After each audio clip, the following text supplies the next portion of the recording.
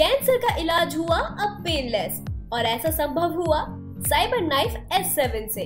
देश की पहली साइबर नाइफ S7 मेरठ के मवाना रोड स्थित वालंटिस कैंसर हॉस्पिटल में मरीजों की सुविधा के लिए स्थापित की गई है। खरखौदा नगर पंचायत के चेयरमैन मनीष राज गौतम ने आज पुलिस ऑफ़िस पहुंचकर कानून व्यवस्था पर सवाल खड़े कर दिए हैं।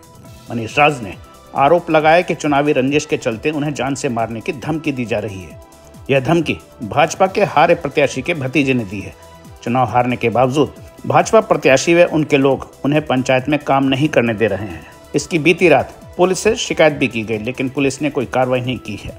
इस पर आज बसपा से चुनाव जीते चेयरमैन मनीष राज गौतम ने एसएसपी ऑफ़िस पहुंचकर शिकायती पत्र दिया है।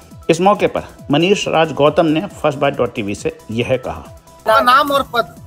मैं कस्बा खरकोदा का चेयरमैन मनीष राज गौतम हूँ। अभी वर्तमान में चयनित हुआ हूँ। आईडी दबा दी नीचे कर दी सारी। अभी वर्तमान में चयनित हुआ हूँ। मुझे कल शाम जान से मारने की भुगत लेने की धमकी मिली है। व्हाट्सएप स्टेटस के ज़रिए जो पुराने बीजेपी प्रत्याशी मेरे सामने हारे थे उनके भतीजे ने खुल्लम खुल्ला व्हाट्सएप स्टेटस लगा के ऐसी भाषा जो मैं आपके सामने मतलब बताने से भी मेरी जो है ज़ुबान सिल्ली जा रही है ऐसी भाषा में उन्हें मुझे जान से मारने की खुल्लम खुल्ला धमकी दी है। ये योगी राज की कानून व्यवस्था माननीय मुख्यमंत्री जी कानून व्यवस्था को इतनी सुदृढ़ कर रहे हैं और यहाँ हमें खुल्लम खुल्ला ऐसी चेतावनी मिल रही है। वही उनकी पार्टी के नेतागण दे रहे हैं। अपने को नेता बतावे। वैसे तो छोटे मोटे नेता ही हैं लेकिन अपने को नेता बतावे। हैं कौन सी पार्टी के नेता हैं? भाजपा? भाजपा भाजपा का नेता बतावे। भाजपा का भाजपा का अजय त्यागी पूर्व जिला उपाध्यक्ष रहा। अपने आप को जो है सबके करीब भी बतावे। मंत्री के करीब भी हूँ मैं फलाने के करीब भी हूँ। उसके खास बतावे। किस किस के मतलब वो बतावे हैं। और दबंगई का माहौल क्रिएट कर रखा। ऐसी आप समझ लो योगी राज में ऐसी खुल्लम खुल्ला धमकी देने का क्या मतलब है? किस दुश्मनी को लेकर आप चुनाव हार गए।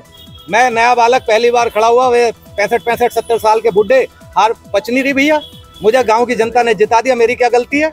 ये बताओ आप, मैं हार जाता, मैं अपने घर चला जाता, अब मुझे काम नहीं करन दे रहे।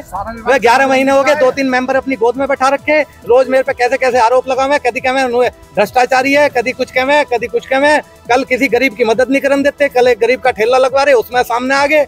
मतलब हर चीज़ में ऐसे उन्होंने वो कर रखा है कि जैसे मतलब यहाँ कोई कानून का राज ही नहीं है।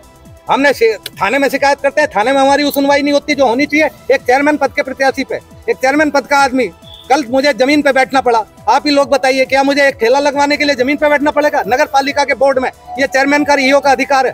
ईओ साहब का लेटर गया थाने पे। उसके बावजूद मुझे ज़मीन पे बैठना पड़ा। ये अंत की जुताई हो रही है। यहाँ कोई कानून व्यवस्था ही नहीं है। कोई कानून नहीं है। बताइए आप।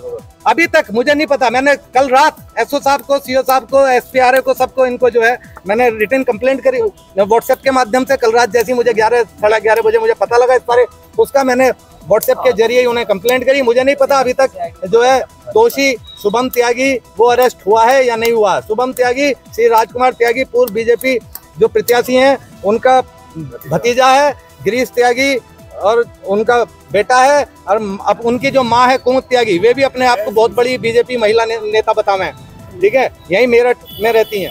अपने आप को मंत्री का करीबी बताती हैं। पता नहीं क्या क्या बताती हैं। अरे हम भी जो है मेरठ में ही रहे हम कहीं बाहर थोड़ी रहे इस खबर में फ़िलहाल इतना ही। आप देखते रहिए फ़र्स्ट बाइट डॉट टीवी नमस्कार।